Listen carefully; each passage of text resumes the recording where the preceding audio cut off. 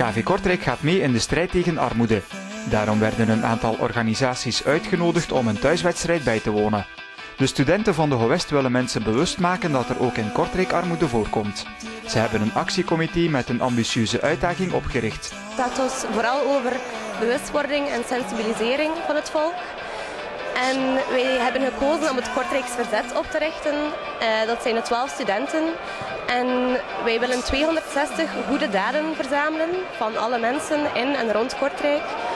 Om, ehm, als het kan, eventueel een tegenprestatie te vragen van de burgemeester en het Schepencollege.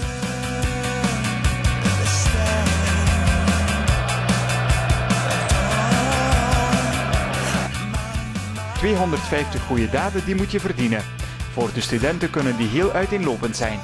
Uh, bijvoorbeeld meelopen in een loopwedstrijd en daarvoor geld vragen en het geld storten naar een sociale organisatie. Uh, dat kan ook simpel een soepbedeling zijn in de winter naar mensen die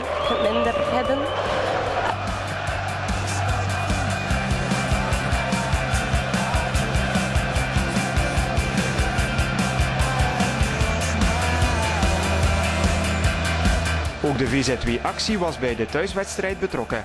Uh, wij zijn een vereniging waar armen het woord nemen en uh, wij proberen structureel armoedebestrijding te doen in Kortrijk.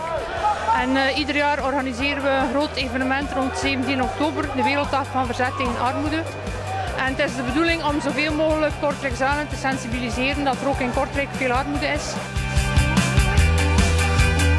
VZW-actie werkt voor de gelegenheid samen met de studenten Sociaal Werk van de Gewest.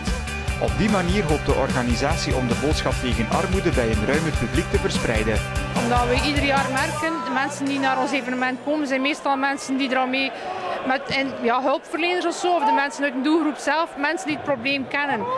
En deze keer wilden we op zoek gaan naar een manier om uh, de modale Kortrijksaan ook te bereiken. Om, om er echt op te wijzen dat er hier ook wel werk aan de winkel is in de stad. Vandaar dat we dus die uh, actie aangaan met studenten. In het kader van KVK Plus heeft KV Kortrijk ook oog voor iedereen in de maatschappij. Geldgebrek mag geen drempel zijn om naar het voetbal te komen.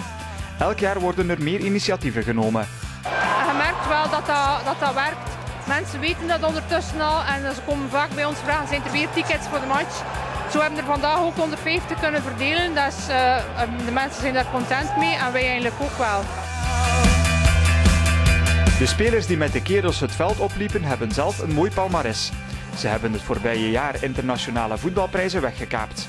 Daarnaast uh, hebben wij onze Belgian Homeless Cup, onze VTEC Shotters in de kijker willen zetten. Dat is het Kortrijkse team uh, die uh, in 2013 de Fair Play beker gewonnen heeft op het Belgisch kampioenschap. En daarnaast ook het Europese kampioenschap, ook de Fair Play beker en de tweede plaats kon bemachtigen. Dus wel iets om in de kijker te zetten.